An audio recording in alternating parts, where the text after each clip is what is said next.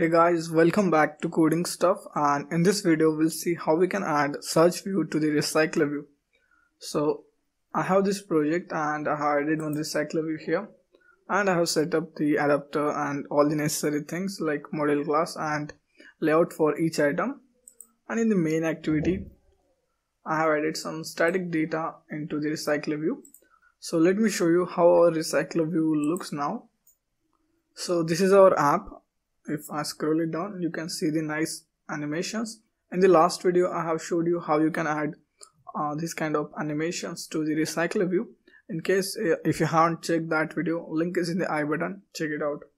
So in this video we're gonna add the search view at the top of this recycler view. So let me minimize this. So now I'm gonna delete some static data. Okay and we can duplicate this. So yeah this is our list and in the activity main what i'm gonna do i'm gonna add one search view here.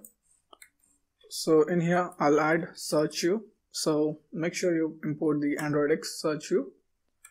And we'll set its width as 0 dp and height will be wrap content. Let's give it id so let's make it search view and then we'll add some properties uh, like we'll provide some margin of 8 dp we'll provide the query hint. So query hint will be search here. Dot dot dot. And we'll come back here later. So first uh, we'll add constraint to it. So let's just remove this constraint of recycler view. And we'll constraint this horizontal in parent to the top. And we'll constrain this here. We'll add some margin. And yeah that's it. So now we're gonna add one uh, drawable file for background of this search view. So drawable resource file we'll name it as search view bg okay let's make this as a shape. Inside this I will provide some corners. 8 dp then we'll add the stroke. So stroke color let's pick color purple 200 and we'll provide some width of let's say 1 dp 1 dp looks cool to me. And yeah in the activity main we'll add the background. Search ubg and yeah again we can just uh, increase this width to 2 dp so yeah, now it is visible. Also we have to add one property to the search view to make our query hint visible. So in here i'll write iconified by default. We'll make it false. And as you can see the search here text and yeah that's it. So now i'm gonna close this and i'll move to the main activity. I'll create one reference to search view. So search view and make sure you import android x dot app compact widget. I'll name it as a search view. We'll find its id dot id dot search view. And then search view dot clear focus. We set this clear focus property because in some device the lower APIs version of Android. If you open this app, uh, there will be cursor at the edit text or our search view. So we don't want that.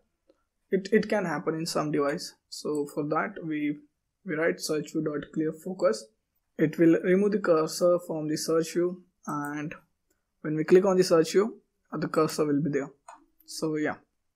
So now we'll write search view dot set on query text listener and we don't need to implement this on query text submit method. Instead we'll implement this. We'll return the true and we'll call one method here which will be filter list and we'll send this new text there. So new text. Click on the right bulb create method inside the main activity. And let's just make it text. And in here we'll create one list of item. We'll name it as a filter list or filtered list. Sorry. This will be equals to new array list. We'll run our loop. Our model class item till the item list. Okay so this item list we have created here and I have initialized it over here. Then I have added some data in that list so this loop will run uh, till the last item of this item list. Inside this uh, we'll have one check. If item dot get item name dot will convert it to the lowercase then dot contains text dot to lowercase. So if this is the case then we'll add that item to our filtered list. So item and then semicolon and at the end we'll have some checks. If the filtered list is empty we'll dis display the toast. So this no data found. Else we'll send this data to the adapter class. So inside the adapter we'll create one method which is public void set filtered list. List item filtered list. So this dot item list equals to filtered list semicolon. And will notify the adapter that data set has been changed. Then we'll come back to the main activity. We'll call our adapter item adapter dot set filtered list we'll pass this filtered list and that's it. So everything is done. Now we'll run the app and we'll see it's working or not. So as you can see our app has been installed. And we'll search something. So let's just search for corn. And as you can see we got three result of golden corn pizza. As in the list i had three golden corn pizzas. Yeah